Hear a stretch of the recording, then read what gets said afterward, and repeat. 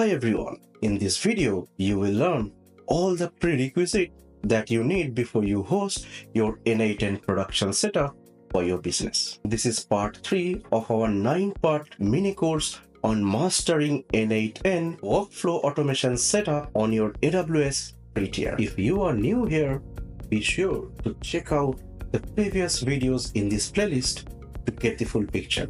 So far, we have covered how to set up an AWS free tier account, and then we have covered how to set up MFA and AWS budget effectively before we start setting up our n8n. Make sure to watch from the start of the playlist to get a smoother learning experience.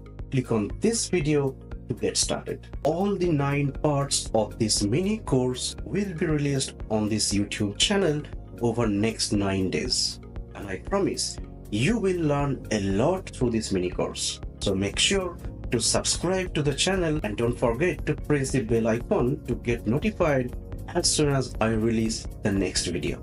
To make things even easier for the course, I have put together an AWS free tier setup checklist for n8n workflow automation engine that you can download from the link in the description. This guide will help you follow along the course to avoid common mistake. With that said, let's get started. Make sure to install Git as a Git software in your local and then if you are not sure how to install Git please look out online or ask ChatGPT it will provide you the details and then if you are on Windows system install git bash as well because that will give you the basic linux bash terminal where you can run uh, bash script that we will provide you or we might need. And you can also execute some bash command that we might need. So please make sure to do that. And then you install VS Code which is a very popular IDE for any development work. So please install the VS Code.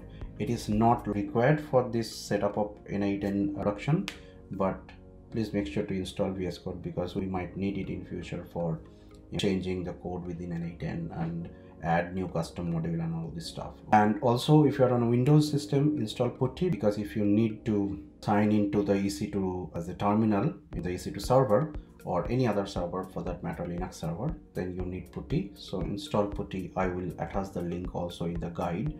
So you can just click the link and download all this stuff.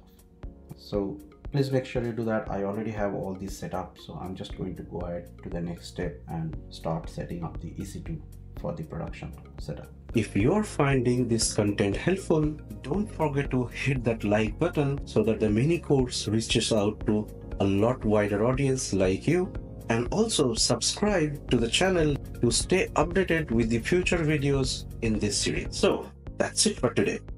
So now you know how to set up AWS free tier account and set up all the prerequisite before we move forward and set up our n8. In the next video, we will know how to spin up your first AWS EC2 instance and get a free server for the next 12 months absolutely free from AWS.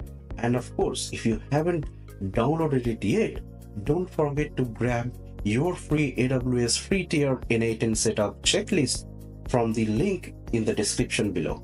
That will help make your learning experience and setup process even smoother. So make sure you have subscribed and downloaded the free checklist to follow along seamlessly. And thanks for watching.